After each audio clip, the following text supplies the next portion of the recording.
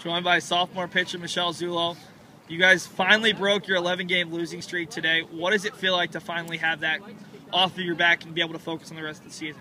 It feels really good because we haven't won in so long. And we did everything good today. We can hit a little bit more, but our defense in both games was really good. And hopefully the curse is gone. Keep on winning.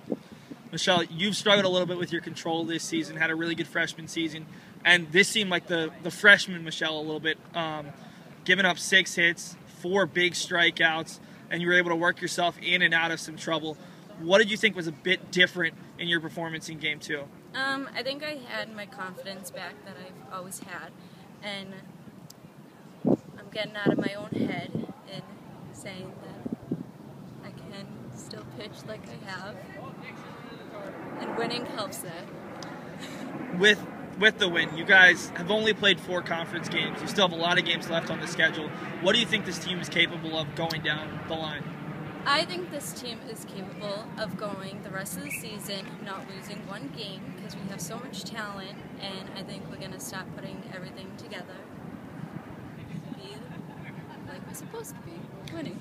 Well, it all starts on Thursday when the Beacons take on Framingham State in a non-conference doubleheader. Thanks so much, Michelle. You're welcome.